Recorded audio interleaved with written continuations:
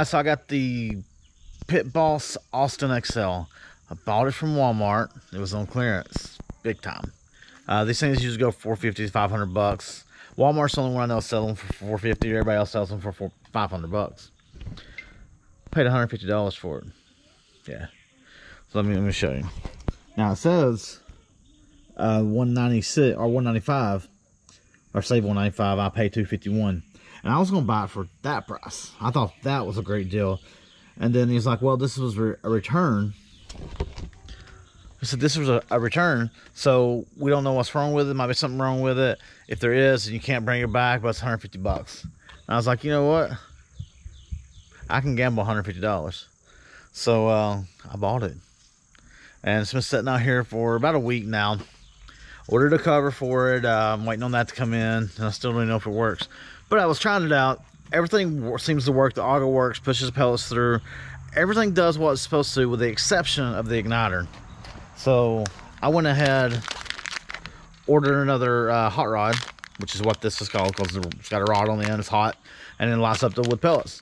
So we're going to go through the process of changing it. Now, I've never done it, never even opened one of these up, but I don't think it's going to be that difficult. There's like eight, ten screws for the entire grill. So of the mechanical parts, it can't be too too complicated. So let's get started on it. Now you can tell, obviously it has been, it's gotten wet, which I know is a no-no. Um, it was sitting underneath one of my uh, overhangs. Didn't do a great job protecting it, but we're gonna get all this out. This is the fire pot. We're gonna take these screws out here, and we're gonna pop this out, and the fire rod's down in here. But first, uh, we're going to go all the way underneath here. This is the front of it here where you dump your pellets in on top. We're going to go underneath here. There's four screws. Uh, no, I'm sorry, there's eight screws. Two on each corner. And we're going to take this off and get to the um, the hot rod plug to undo it. And I think there's a grommet in there. We're going to pop that out too. Um, I don't know what else past that that we're going to get into. This is up inside the bottom, I was telling you about with these screws on each, two screws on each corner.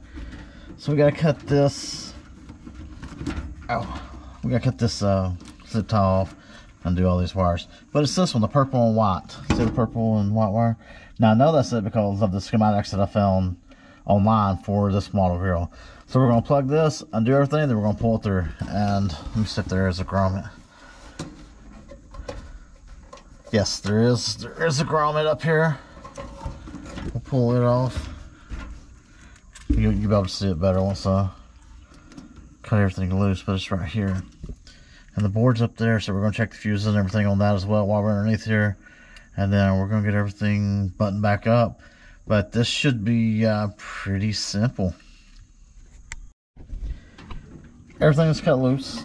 Um, the fuse, I don't know, let me see if I can grab my the little green box on the right hand side. That is actually the, the fuse housing so I pulled it out and checked it. Everything everything's good there. Got this loose here and what it is I cut the plug off on this end and the reason why I think I'm going to attach to this and pull it through from a hot rod. So what I'll do is I'll feed the hot rod in past this fan. There's a little hole here and I can't really get the camera up there. There's a little hole right back here that it goes to so attach it, tape it, I'll just electrical tape it to this right here. And then um, we'll pull it through and I'll, I'll help push the rod through. But once I get the rod through, it should slide through, pull through, or pull through no problem. This is the kit that I ordered from Amazon. It comes with two hot rods actually. And I think these are actually a touch bigger than what's in here. And it comes with two fuses to replace if you need to. Now I'll pull that out and check just so we know we don't have to do that. So with no ignition coming to the wood pellets, I believe that's going to fix our problem.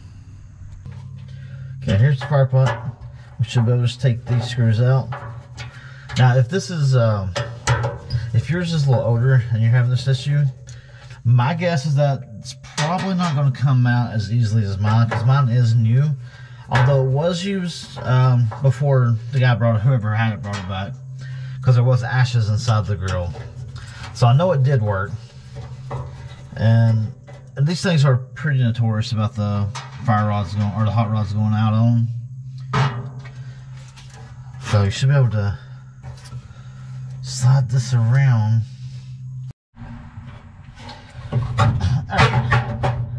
got it loose, had to tap it with the hammer just a touch. Twist it. Oh, and I did what I said I wasn't going to do. I pulled the wire through. Hopefully it didn't come all the way through yet. So let's take this set screw out. That holds the hot rod in here. That's actually your igniter.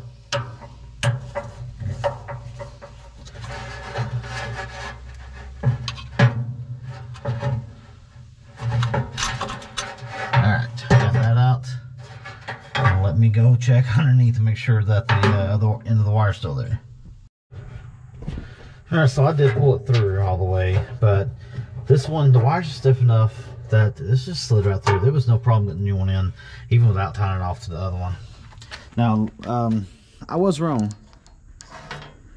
This one is the same size as, the new one, but uh, I really thought the new one was going to be larger just by looking at it But this one's through. Now I got it hooked up with the other end.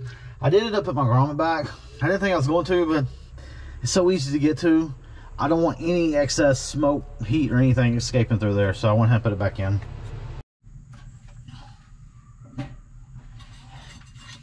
Got the uh, fire pot cleaned out.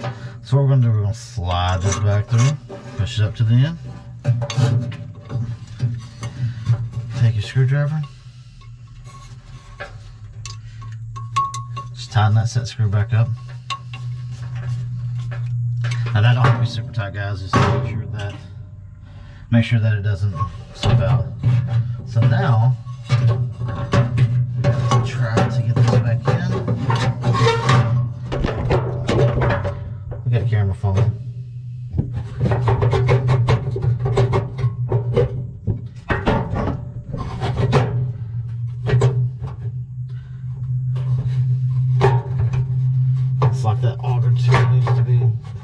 Touch. So let me get some tools. Probably gonna take the hands of that and I'll be back just a second. I think I lied a little bit. All I knew was my other hand, so I used two hands. This slid back on, no problems. Pick that up a little bit, slid right through. Let's put our four screws back in, then we go button iron up everything else underneath. Um, no, I think we'll actually test it out first, obviously.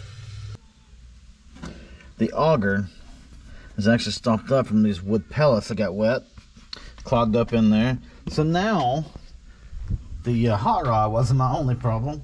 I got to remove this whole hopper. So I'll remove these screws first. Got two here, two on the other side. And then um, we will pop it open and I'll pop it off and see if we can get that auger to start moving. That's what it looks like when it's all off. Got these two screws on the back. Now, I will say, I just happen to have a patio chair sitting here, but that's why I put it in. But just do yourself a favor, get a bucket or a box or something. It's not heavy, but make sure you get that laid on something because you don't want to undo all these wires. There's no sense of it. You can definitely see that it is it's clogged up. So we're going to remove that little nut right here. And then this motor should just slide right out. Man. That is... Uh, getting a pellet smoker wet or any kind of moisture inside the auger it's a very bad idea. Very bad idea. Uh, I got any, I'm gonna have to go buy a uh, shop vac and a crowbar. Mine's at the uh, store in Dalton, so I'm just run down Chatsworth and buy one. But this thing right there, I'm gonna have to have to pry that up somehow because this won't even twist to get the set screw off, to get the motor off. So we're gonna get the whole thing up. And uh, I'm hoping that we can do that without bending or breaking anything. This thing's a trick. I mean, I've had it, don't do this, but uh, you know, it's wired up.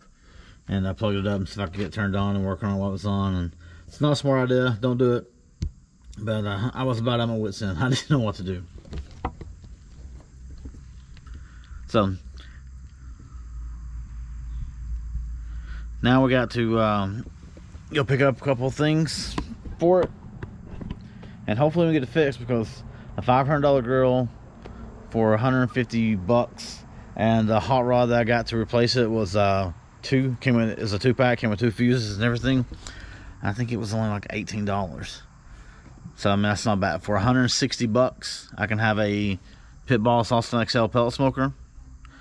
I've never used one, any pellet smoker, period. But I wanted to try because I do like barbecue. I do like smoking meats, and you know I do it the old-fashioned way with stick wood and everything. But I, I don't know what this is gonna do. I have my doubts because I'm, I'm kind of purist at heart when it comes to barbecue.